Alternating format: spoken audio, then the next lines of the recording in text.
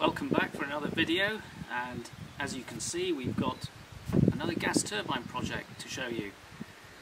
And what I'm going to do is um, show you how we've managed to try something a bit novel in getting this engine to run and that's using a, a winch motor as a starter motor to power up this Turbomeca Turmo 4D.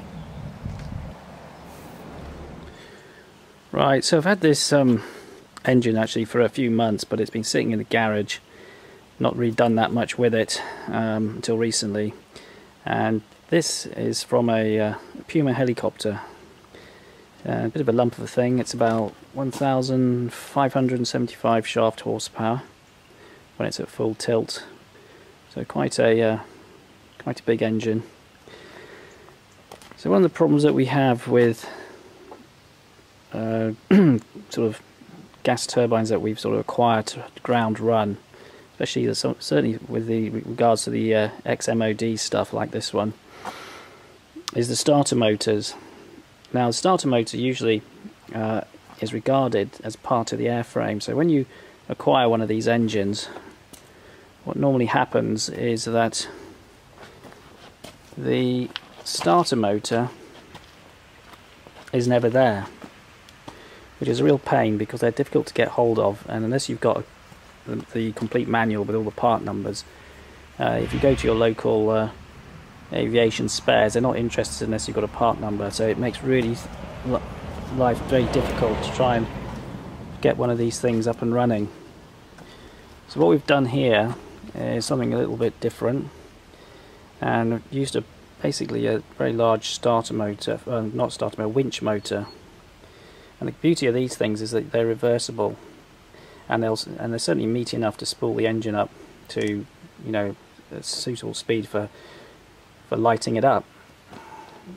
So that's actually what we've done here, and uh, you know, as I mentioned, being reversible, you know, you can use one of these on just about any engine, providing you're prepared to do the uh, uh, machining to to uh, adapt the starter motor into the gearbox which is what we've done here and uh, I must give acknowledgement to my friend Andrew Phillips from Cross Engineering who uh, has done a fantastic job and uh, can highly recommend them if you're interested in trying to sort out a problem with a starter motor and a gas turbine engine. So there we go. Anyway, moving on down, that's what I've done so far. Everything else here is pretty standard. Uh, I will show you the inside of this box in a minute, which is the starting arrangement. And we've got a control box there with all the usual instruments, uh, RPM and uh, TGT. The oil pressure I'm measuring directly off the engine with a separate gauge. So there you go, that's the uh, Turmo. And what we'll do is we'll try and crank it up. It's, it's a little. This engine's a little bit uh, temperamental at the moment. The uh, the fuel system, which you can see there, unfortunately doesn't self-govern particularly well. So it should idle about 50-60%, which it's not doing. So I'm having to sort of switch it off. The engine speed slowly seems to climb. So there's a governing issue there, which I'm going to have to sort out. But the rest of it more or less works. Leaks oil a little bit, hence the uh, there's a bit of an oil leak there which is coming from the fan which is going to the oil cooler. That uh, might be something to sort out, but it's something I think it's tolerable at the moment just for sort of starting it up. So there we go. Okay, in this little box here we have the starting arrangement. So we've basically got just two big relays and a starting resistor or soft start resistor just reduces the current going to the starter motor or the winch motor. And uh, once the um, after a few seconds that relay or that resistor is shorted out by the other smaller relay. And uh, so the full power full current applied to the to the motor. It doesn't seem to make a big difference actually. This motor sort of spins more or less about similar sort of speed no matter where, whether that resistor's in there or not but uh, it does sort of um, does sort of help the it's quite a good idea to have one of these because otherwise you may end up snapping shafts and things like that because these these motors can uh, develop quite a bit of torque. So that's what we've got. Close that back up again. I can, there we are. That's it. So hopefully we should be ready to give it a bit of a run. Okay.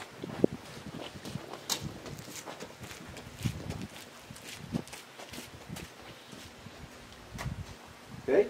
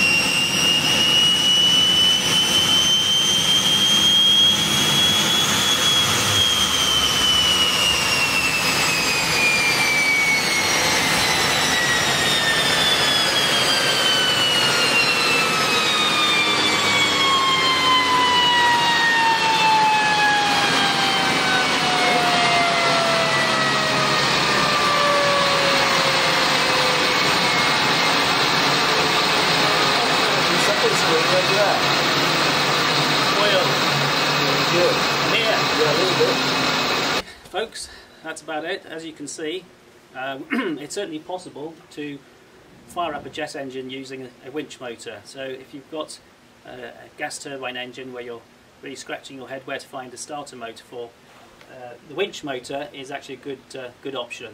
And uh, they can, you can pick these things up off eBay. They're not too expensive, about 150 pounds. I was lucky with this one; it was it seemed to be a surplus one, and I got it for 60 quid compared to you know, maybe up to a thousand pounds for um, a second-hand original starter motor.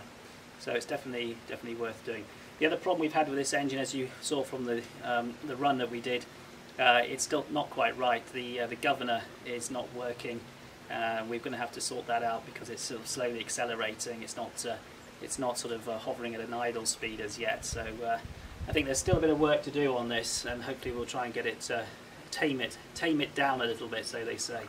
Anyway, that's all from the uh, Woolgard test facility, the WTF, and catch you again soon.